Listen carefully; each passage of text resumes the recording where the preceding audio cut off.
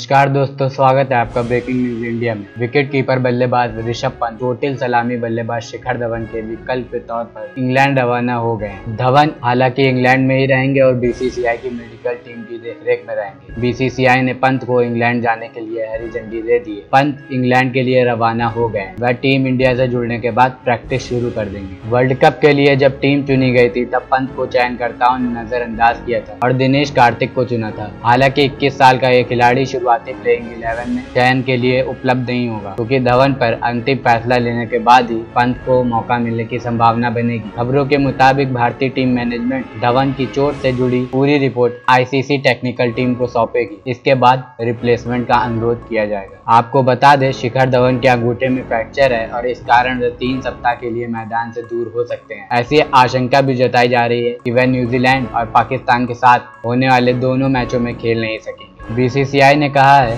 धवन इस समय बीसीसीआई की मेडिकल टीम की देखरेख में है। टीम प्रबंधन ने फैसला किया है कि धवन इंग्लैंड में ही रहेंगे और उनकी चोट पर नज़र रखी जाएगी। धवन को बाएँ हाथ की तर्जनी और अंगूठे के बीच में चोट है। धवन ने रविवार को ऑस्ट्रेलिया के साथ हुए वर्ल्ड कप मुकाबले में शानदार एक सौ सत्रह रन बनाए थे, और मैन ऑफ़ द मैच भी चुने गए थे। भारत ने वह मैच छत्तीस रनों से जीता था। उसी मैच में बल्लेबाजी के दौरान ऑस्ट्रेलिया गेंदबाज नाथन कुल्टन नायल की एक गेंद धवन के अंगूठे पर लग गई थी। अपनी पारी के बाद धवन ड्रेसिंग रूम में ही बैठे रहे। और बर्फ़ से चोट की शिकायत करते रहे। वह फील्डिंग के लिए मैदान पर नहीं उतर सके थे। रविंद्र जडेजा ने धवन की जगह फील्डिंग की थी। ऋषभ पंत को जब टीम में नहीं चुना गया था, तब कई लोगों ने इस पर निराशा जताई थी। इंग्लैंड के पूर्व कप्तान केविन पीटरसन ने शिखर धवन की चोट के बाद ऋषभ पंत को तुरंत टीम में शामिल करने की वकालत की थी। इसी तरह के क्रिकेट अपडेट्स में बने रहने के लिए हमारे चैनल ब्रेकिंग न्यूज़ इंडिया को सब्सक्राइब करना न भूलें। धन्यवाद।